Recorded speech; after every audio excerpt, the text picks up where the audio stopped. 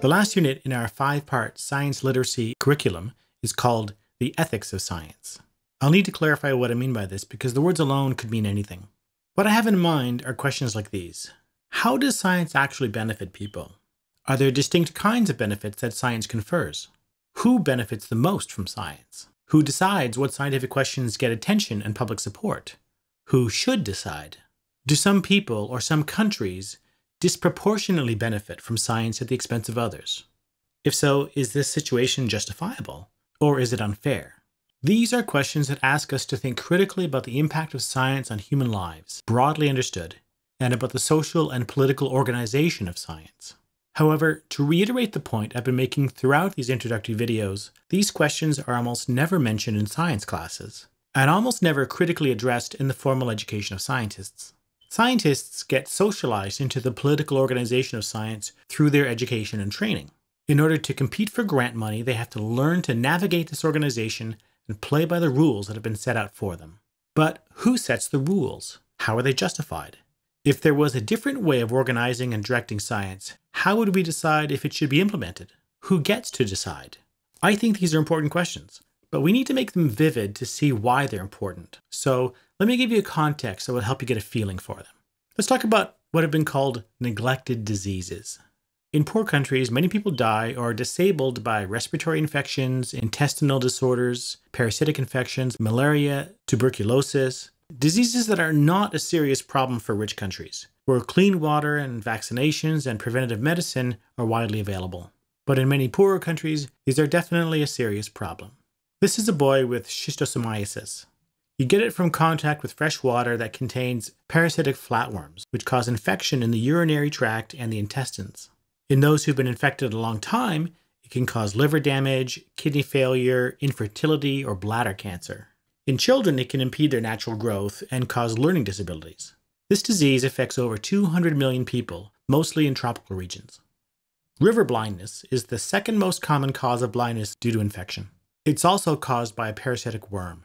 The worm is spread by bites from black flies, which tend to live near rivers, hence the name of the disease. It starts with severe itching, bumps under the skin, and then affects vision and causes blindness. There is no vaccine for this disease. The only way to prevent it is to avoid being bitten by flies. Between 20 and 25 million people are infected with river blindness. These are women suffering from filariasis, another disease caused by infection with parasitic worms, in this case a roundworm, which are spread by black flies and mosquitoes. The parasites lodge in the lymphatic system. The most striking symptom of this condition is elephantiasis, swelling of the limbs, with thickening of the skin and underlying tissues. These women have the condition in their legs, but it can occur in other parts of the body. This is a man with leishmaniasis. It's caused by a protozoan parasite, and it's spread by the bite of certain types of sandflies. It causes skin ulcers, which can also form in the mouth and the nose, and there's a form of the disease that is more visceral and goes inward, affecting red blood cells in the spleen and liver. This disease currently affects about 12 million people with 2 million new cases occurring each year. About 200 million people live in areas where the disease is common. So, what do these diseases and other diseases like them have in common? These are diseases that disproportionately afflict the poor. They prevail in tropical and subtropical conditions in 150 countries and affect more than a billion people, and they cost developing economies billions of dollars a year. The World Health Organization estimates that in 2008, almost 9 million people died from these diseases of the poor. Now let's tie this back to our topic, which is the ethics of science. It also turns out that the vast majority of these diseases are strikingly understudied. Global health organizations call them neglected diseases. There's a pressing need to develop remedies that can be exported to the environments where people are most afflicted. Now, given the magnitude of the problem, it is shocking how little research is actually being conducted to develop such remedies. Now, why is this? Biomedical research is part of a multi billion dollar global industry. Why isn't more of it going to disease research that could dramatically improve the lives of hundreds of millions of people? Well, we need to ask where is this research being conducted and who is conducting it? Disease research follows most basic scientific research in that it's almost entirely conducted within modern, industrial, high GDP countries. Globally, the largest percentage of scientific research is conducted by for profit companies working within specific industries, like pharmaceuticals, or defense or agribusiness, technology, natural resources, and so on. A smaller percentage, but still very important contribution to basic research, comes from government agencies of these rich countries, like the National Science Foundation and the National Institute of Health in the United States. These agencies partner with universities and private companies to form the backbone of publicly funded research and development within the richer industrial countries of the world. Now we need to ask what determines the research priorities of these different sources of scientific funding?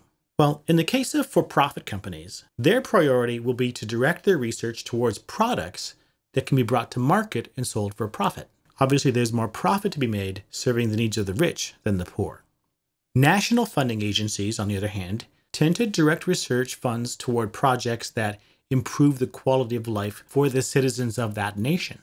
But in richer countries like the United States, these neglected diseases are not a pressing problem, so historically they haven't been a national priority. The result is that total global research support for neglected tropical diseases was about $3 billion in 2008. By contrast, the total research and development funding for pharmaceuticals was around $100 billion that same year. Where are most of these research dollars going? Well, just consider that the global market for beauty products, shampoo, skincare, cosmetics, and so on, is about $260 billion. The global market for acne treatments alone is around $5 billion of which the market within the United States alone is worth $3 billion. This is the financial reality of privately funded science. The vast majority of pharmaceutical R&D money is directed toward developing treatments and products that can be accurately described as solving first world problems. Now, I'm not saying these are all trivial problems. Many of them are trivial, like developing new formulas for lipstick that continues to look wet but doesn't smear, but cancer research gets a lot of funding too, and of course, that's absolutely not trivial. No, what we're trying to do is explain why tropical diseases of the developing world have not been a research priority. And what I'm saying is that it's not surprising that they're not a priority once you understand the way that most scientific research is organized and funded. Private market driven interests take priority over global public interests, and national interests take priority over global public interests until those global interests start to impact national interests. This point about national interests is illustrated in stark fashion in this article, which criticizes the US government for cutting funding to Walter Reed Army Institute for Research. This institute's mandate is to conduct biomedical research that is important for defense and US military needs. Well, one of those needs is to not have American soldiers contract infectious tropical diseases while engaged in military activities in the Middle East, Central Asia, and Africa.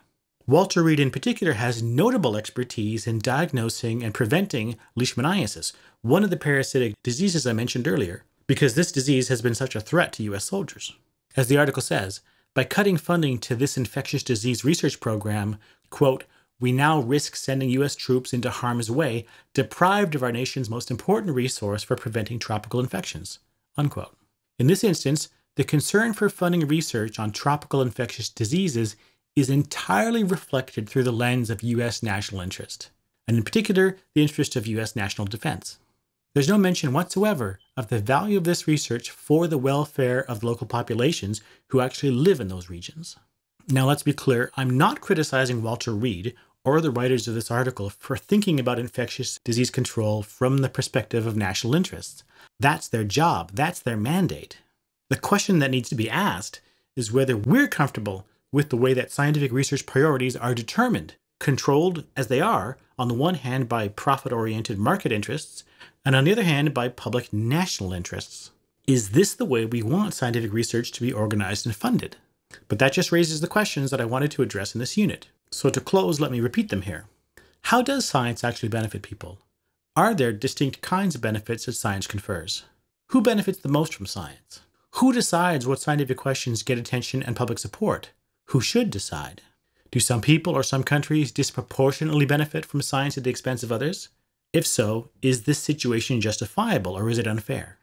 Now, believe it or not, my concern with this unit on the ethics of science isn't specifically with biomedical research and global health.